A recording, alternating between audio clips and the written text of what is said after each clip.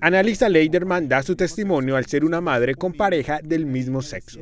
Esta historia, contada por nuestro periodista David Metaute, ocupa el lugar número 5 en este conteo de clic por clic con 240 reproducciones. Me parece que hemos cambiado mucho en los últimos años pues desde que se dio el caso de nosotras, eh, llevamos seis años, siete años hablando de esto, porque la gente ya, cuando piensa en una pareja, una familia homoparental, no, ya, ya no, pues cambia el imaginario.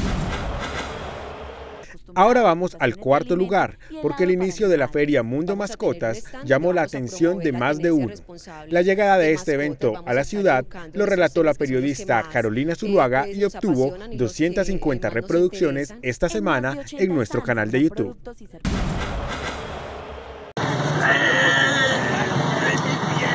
Así que todo Hugo El ataque a un adulto mayor y su mascota también hacen parte de este conteo de clic por clic. perro de 15 años de las agresiones de un vecino en Esta noticia, contada por el periodista Jair Orozco, ocupa esta semana el lugar número 3 con 340 reproducciones. Se hace pipí y el tipo desde la ventana de su casa sin salir empieza a gritarle insultos a mi papá. Mira que el hijo de tantas perros me, me orinó la casa y se me va no sé qué en la casa. En video quedó registrado el momento en el que tumban a una mujer de su moto para ser robada. En un sector del barrio Laureles, occidente de Medellín. Este hecho, contado por el periodista Giovanni Marulanda, obtuvo 1.473 reproducciones en nuestro canal de YouTube. Y la tumban del vehículo.